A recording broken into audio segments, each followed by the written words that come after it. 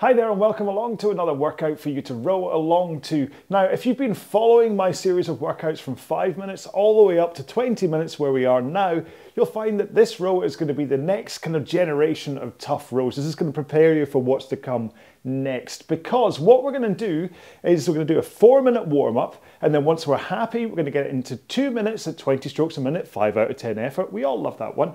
Then we're going to do two minutes at 24 strokes a minute and then we're going to increase that to seven out of 10 effort. And then we're going to do two minutes at 30 strokes a minute. That's going to be really getting up to that like nine or 10 out of 10 effort. And then we're going to back off all the way back down to 20 do it all again do it all again and then we're going to finish off with two minutes just to make sure that we're properly cooled down at that 20 strokes a minute again. I know it all sounds like there's a lot going on, but don't worry about it. Just follow me when I tell you to change stroke rate and intensity, and your 20 minutes will just go whoosh and it'll all be over. All right? So, like I said, we're going to do a four minute warm up first, but we have to set up our machine first. And on an Aviron, that means setting up your resistance first. Now, I usually row with mine at around about 12 for a tough row, but on these training rows with the mixed kind of intensities and stuff, I'll back it off down to nine.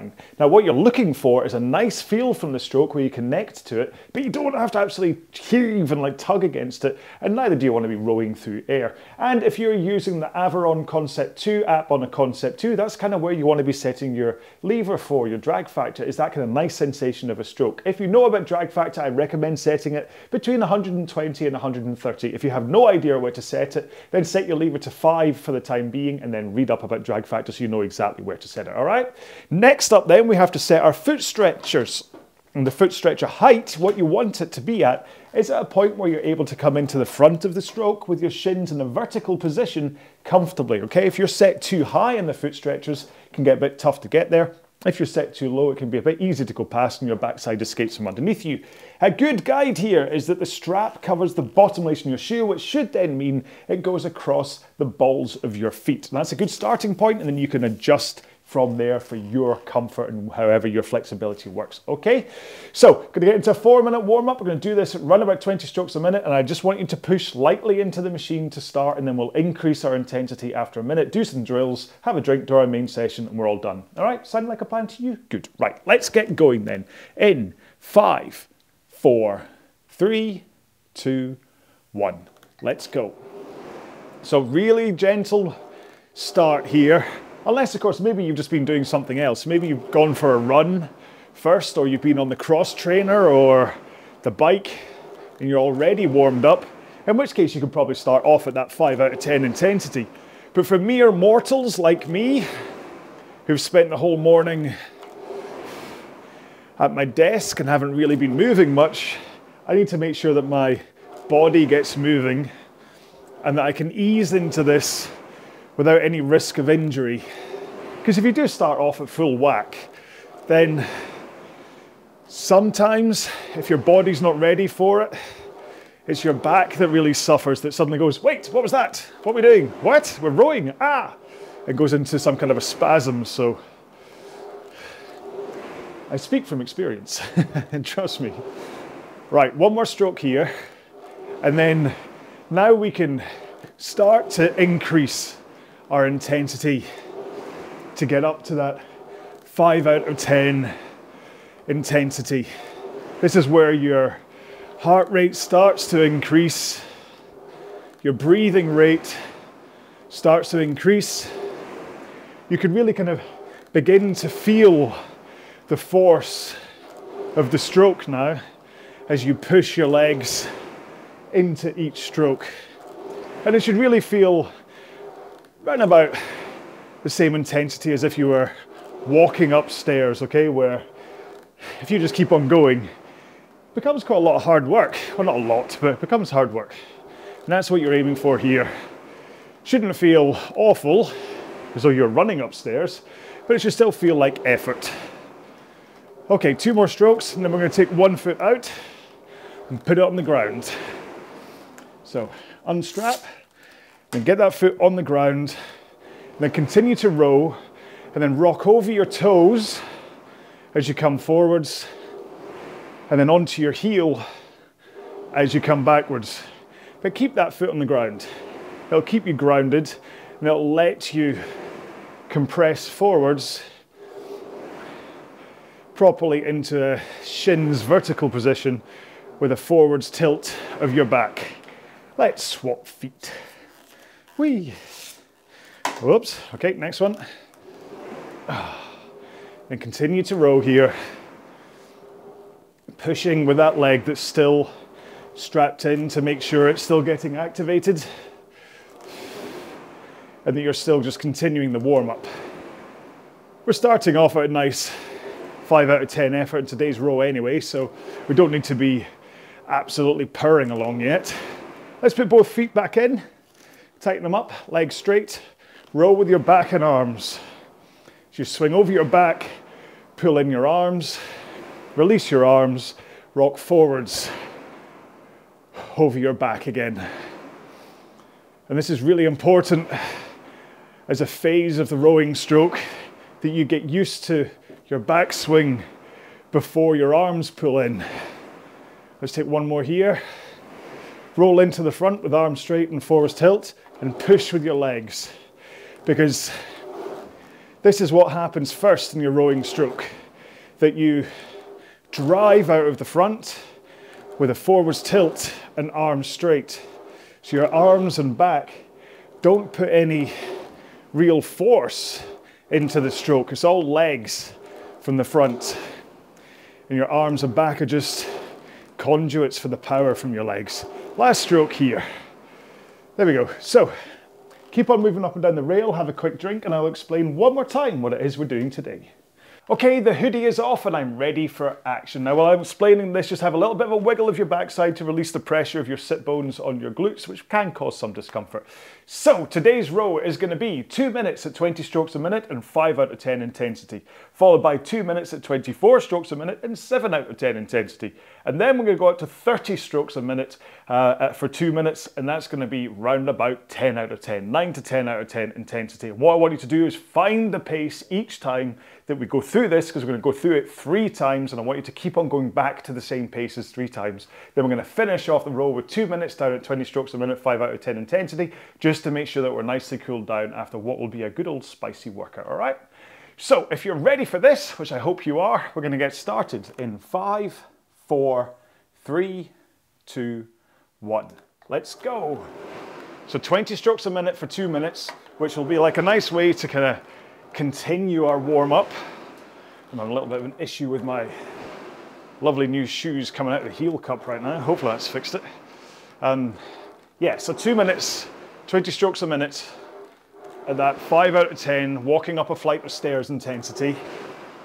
This will just continue to make sure that your body is nice and ready for the more intense stroke rates today.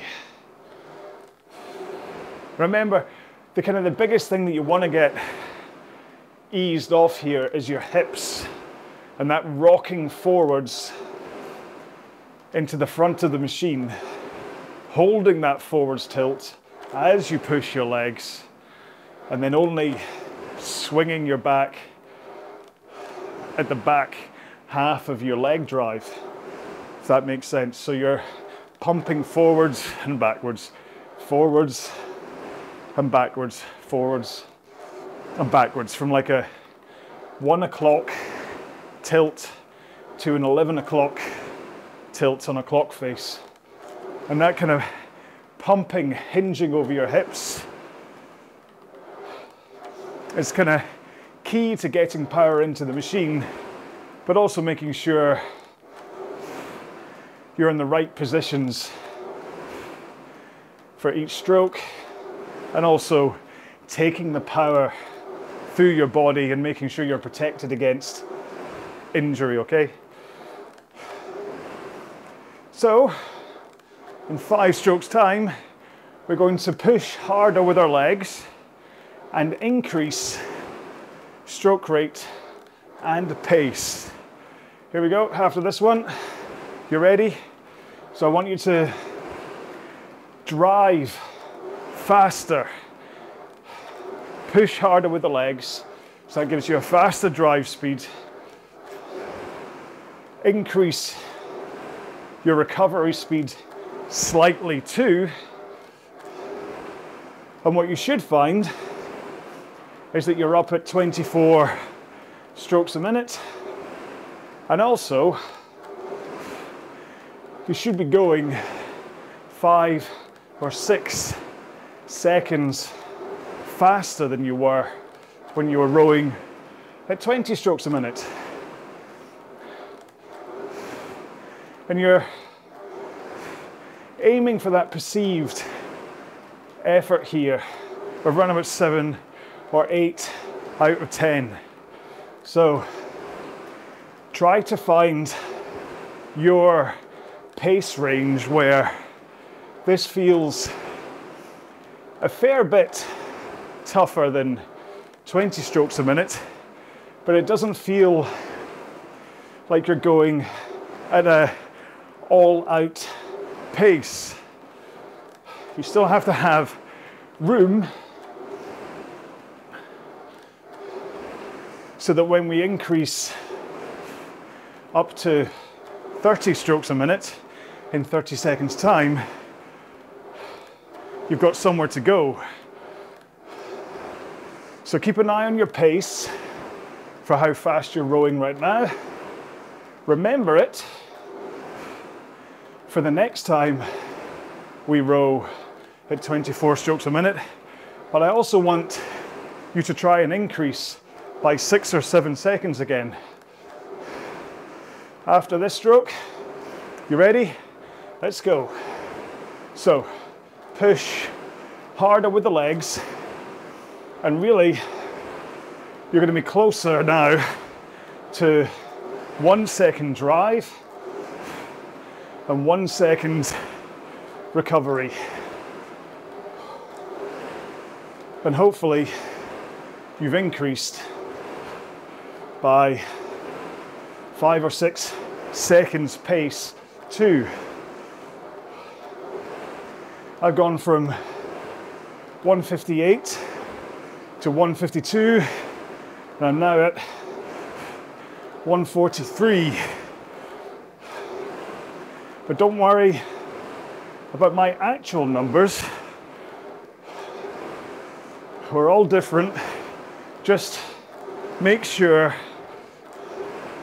that you have the same differences or same roundabout differences when you increase from 20 to 24 and then 24 to 30. Remember, you can follow me for stroke rate, but if you're finding it tricky, just think about the handle, getting it away smoothly but quickly from your body. If you hold it against your body or take too long, it'll really slow down your stroke rate. Okay, two more here. One more, and back to 20 strokes a minute. Woo. There we go. So that is how we're doing today's row. Whew. Got two more of these runs to go, and then we're all finished. Well, after that little cool down, but hopefully, I mean, hopefully you can tell that I'm using this to kind of recover, ready for the increases to come my heart rate is definitely higher than it was the last time I rowed at 20 strokes a minute. But I'm making sure to hold the same pace. So I'm still rowing at 158 pace, regardless of the fact it feels like from a perceived effort point of view, this is definitely feeling tougher than it did the last time I rowed at this pace. And that's why I was saying keep an eye on your speed so that you can return to them because perceived effort starts to go out the window a bit the further you get into this row. Okay, two more strokes. One more. And let's go back up to 24. So, push harder with your legs.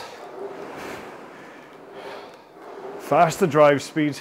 Use your handle return to help you with a faster recovery. Here You know, this may comparatively, having been through the 30 strokes a minute phase, this may feel comparatively easier than it did the last time you were at 24. It's funny how the brain works that way, where last time you might have gone, oh, this six second increase feels a bit tough. Now you're like, Pho. it's a walk in the park compared to holding 30 strokes a minute for two minutes.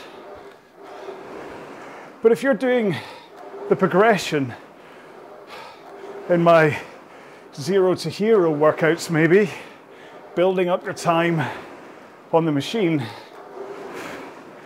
then you'll hopefully already have rowed 20 minutes at a low intensity. So you know you're capable of that. And so by adding in this 24 and 28, sorry, 30, what am I saying? 30 strokes a minute.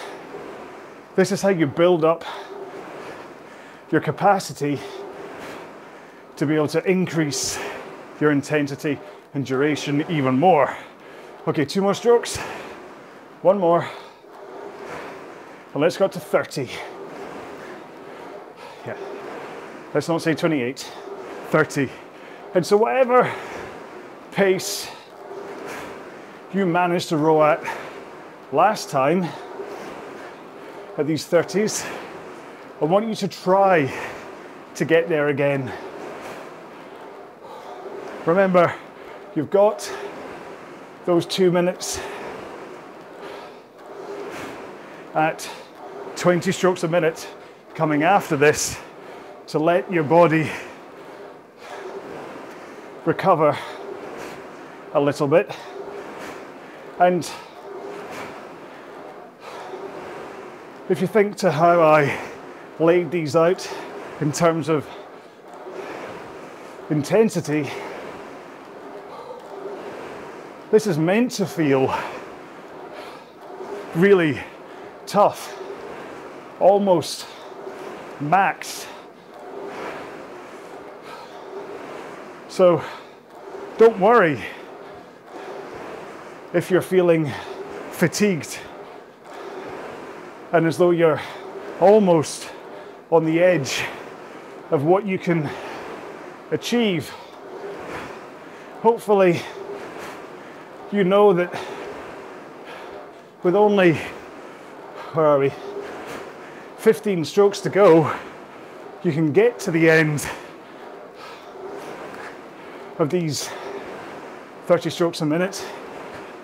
You don't have to slow down within this cycle. You can wait another five strokes. Four, three, two, one. Back down to 20 strokes a minute. Let your body settle. Be careful not to go too slow here. You want to hit the pace that you set the previous two times at 20 strokes a minute. But also, hopefully, now that we're over 30 seconds into this period, you slow down enough because it's quite easy to kind of keep that intensity high, even though you lower the stroke rate. And this is meant to help you recover. Because after all, as much as I'm saying this is meant to be a tough workout, it's not meant to be one that will leave you on the ground afterwards, suffering from overexertion. For the first 12 workouts of the Zero to Hero series, it's meant to be about helping you increase the duration that you can row for. And then the next phase starts to be about increasing duration and intensity too.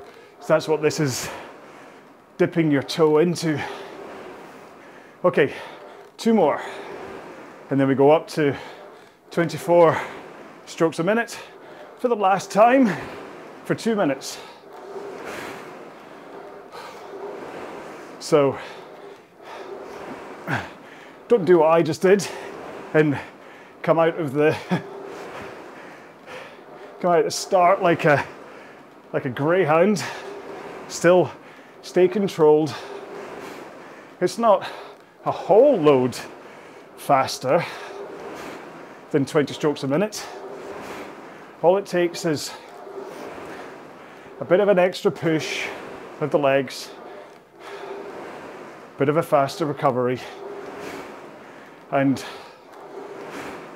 as a result of the faster drive, that added power, and the fact that you're doing four strokes per minute more than you were at 20 strokes a minute, this is how you should see your pace increase and it really is.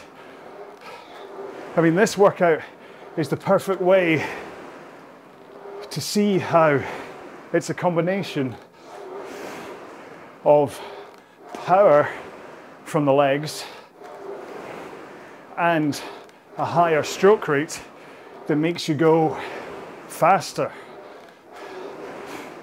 So if you're looking to row faster, whether it's in competition or even on one of the games on Aviron, then hopefully this is really teaching you that it's about rate and power, both of which we're going to have to do in two strokes time.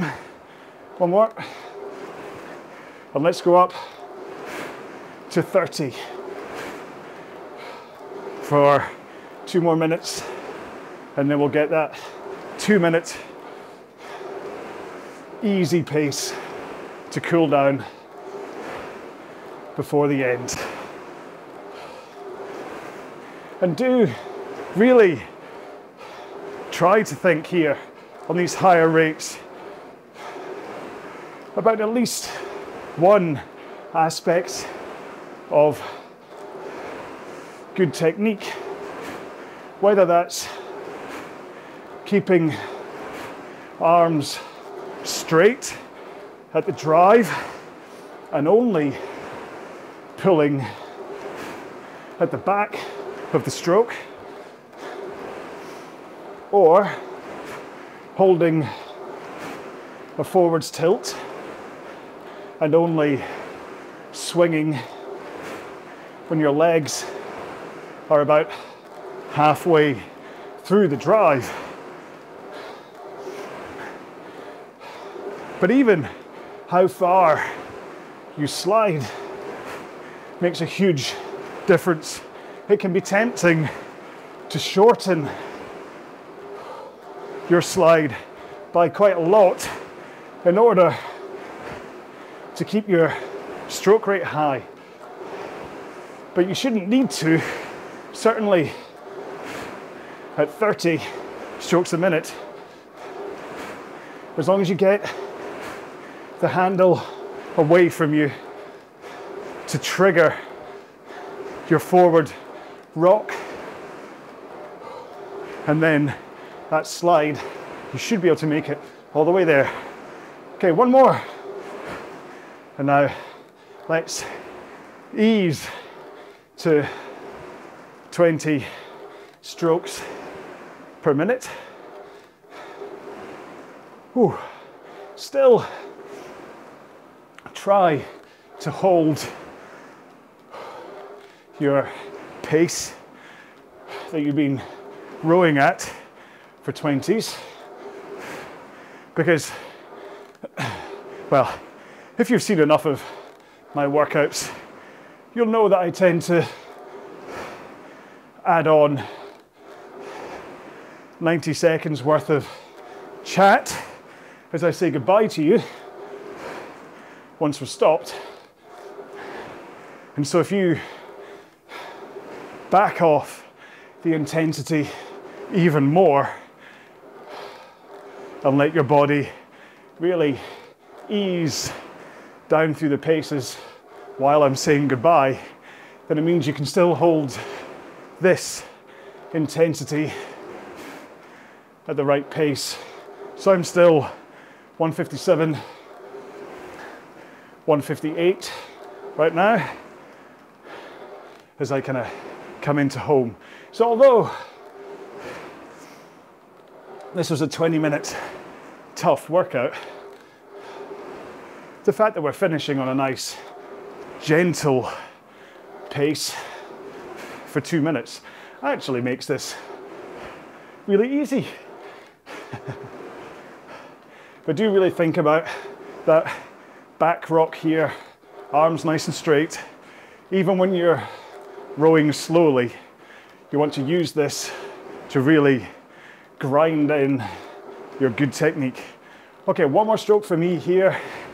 You can continue rowing lightly, otherwise a big well done, because that was, like I said, the toughest of the workouts so far in this progression, out the first 12 workouts that take you from five minutes as though you're just a new rower, all the way up to being able to do that kind of a row. And hopefully it's within your realms to do that. Yes, the 24s feel a little bit harder. And yes, the 30s feel really tough. I felt that it was really tough. It's not like I'm sitting here and it's a walk in the park for me. I was properly heart rate up, completely out of breath, finding it hard to speak, which means me isn't. I can't find it hard to speak. Whereas that's my whole USP. so it's meant to have felt tough through that. So if you felt that it was a hard uh, row, then good, because that's how you get better. That's how you're able to progress and do more by kind of adding in a little bit of intensity to help your body grow to then be able to do a little bit more. And then the next time you can do like a 25 minute low intensity row in order to build up and be able to row for 25 minutes. So this is kind of just how your body responds. It's that by just kind of mixing up intensities, your body never plateaus, it always gets better and you'll therefore get better as well. Okay, so there we go. It's a bit of a long uh, outro for this one, but I really hope you enjoyed it. It was a great 20 minute row. I know I definitely enjoyed it. Uh, I'm gonna go and do some stretching afterwards, go have some lunch. Chicken noodles today, so that'll be lovely. Um, and yeah, and I will see you in the next set of videos. So do keep an eye out for uh, the other videos that will help you progress and get further, whether you're doing the zero to hero uh, playlist or not. It's entirely up to you, but hopefully you just enjoyed this 20 minute workout, even if it was a standalone. So the last thing to do is just give out a hashtag for today's row, and it's gonna be tough 20 because that's what it was okay thank you so much for joining me for this one i will see you in the next video until then take care be well bye bye